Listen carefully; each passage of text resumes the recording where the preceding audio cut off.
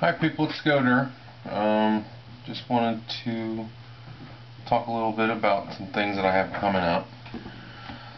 Um, interested in cooking, so anytime I have some cooking to do and I think it might be interesting, I'm gonna post it up there. I have some um, I have some tortilla making, some pizza, you know, anything in between that I can think of, I'm gonna do that too.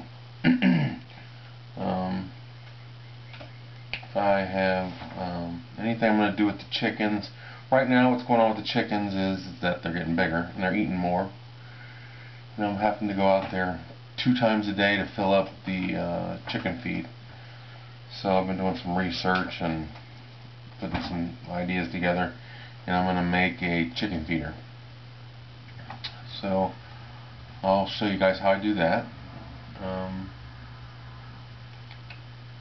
got some other projects planned and some uh, things where I bring you along and show you some some preps or some ideas or stuff like that. Um, I also wanted to show you guys uh, the dog that I was talking about before. Um, his name's Buddy that I make the food for. Let's do that. He's right here on the floor. Buddy! He's an old puppy. Oh, I scared him. Oh.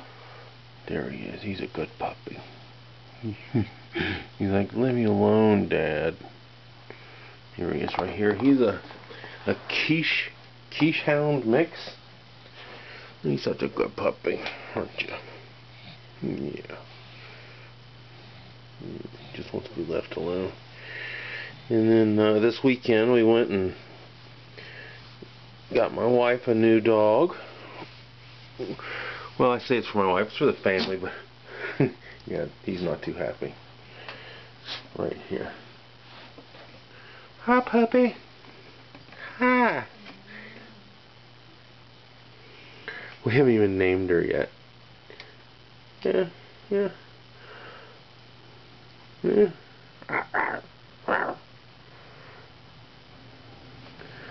So, there's a few names we're kicking around. Um, Kayla, Sarah, Allie. My daughter likes Daisy. the wife and I are definitely not into that one. um, a few other ones. But, alright, that's what's going on with me. Um, I got some cooking videos coming up, so Alright, if you guys have any questions or comments, just uh, leave them down below. Alright, thanks.